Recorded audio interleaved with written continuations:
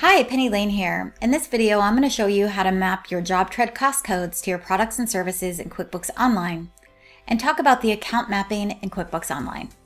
But first, I want to touch a little bit on cost items. It's important to understand that cost items and cost codes are not the same thing in JobTread and understand their role. To get to the cost items, click the catalog from the left menu bar and make sure that you're on the cost items tab. In this example, my cost items and cost codes are pretty much the same, but oftentimes that's not going to be the case. The cost items are what you actually use to build the budgets in JobTread. We don't use the cost codes directly usually, but cost items. That's because we can have an expanded list of cost items that all mapped back to one cost code in JobTread. For example, with framing materials, I might have cost items called 2x4s and fasteners. And those are all framing materials and they'll all map back to the same cost code. It's here inside the cost item that I'm going to map to a cost code in JobTread. It's really important to make sure that every cost item in JobTread is mapped to a cost code or you're going to have syncing issues with QuickBooks Online. Notice too that I have a cost item type. Let's take a look at what those cost item types mean. To get there, click on Settings from the left menu bar, then click Job Costing. Scroll down a little. The cost item types are just a way for us to allocate certain attributes to cost items. For example, our cost type called labor is time trackable. Only cost items marked time trackable will be available for employees to choose when they're entering their time.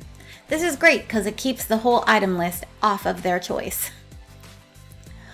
We also can allow for different margins for different cost items.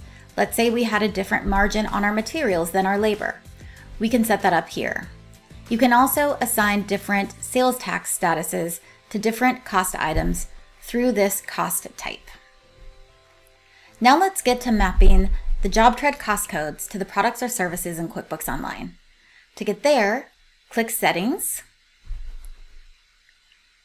Integrations tab, QuickBooks Online, and then choose the product service mapping option from the left.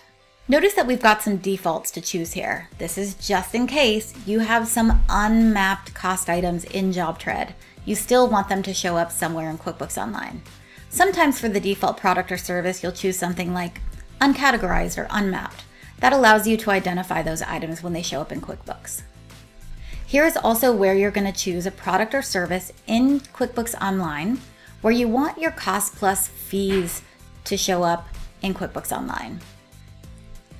Down below, we have our mapping of our JobTread cost codes to our products or services in QuickBooks Online. In this example, I have pretty much a one-to-one -one situation. So for each JobTread cost code, I have a product or service in QuickBooks Online.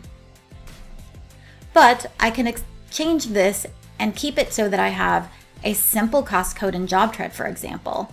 And by expanding out my JobTread cost types, I can add, I can map to multiple products and services in QuickBooks Online.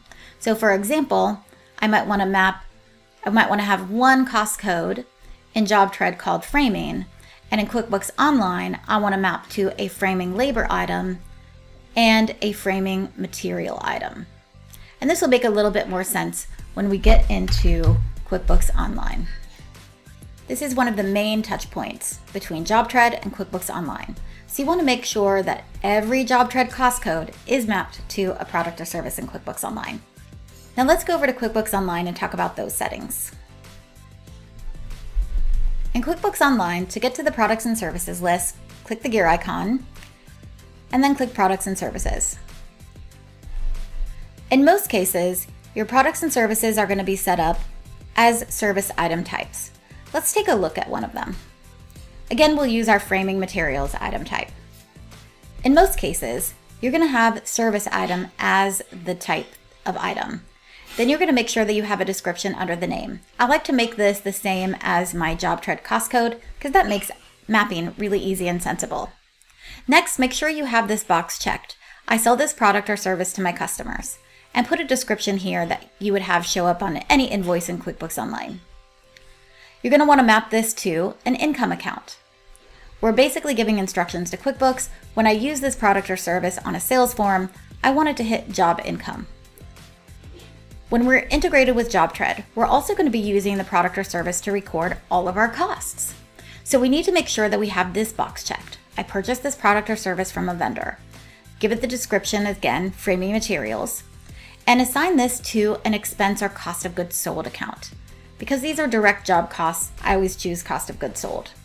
In this particular example, I have my cost of goods sold accounts also built out at the cost code level, but this might just say materials cost of goods sold.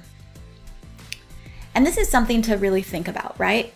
Because as you can see, for each product or service in QuickBooks Online, I can only assign one income account and one expense account.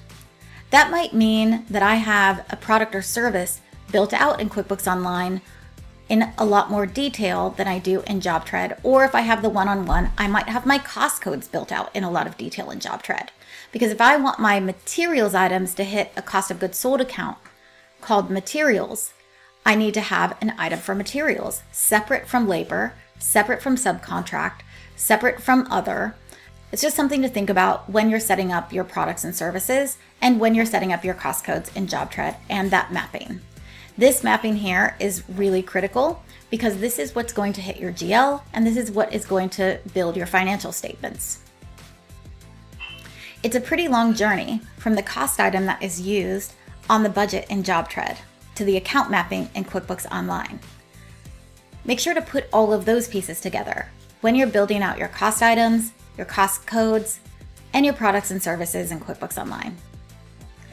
If you have any more questions, please contact support at jobtread.com.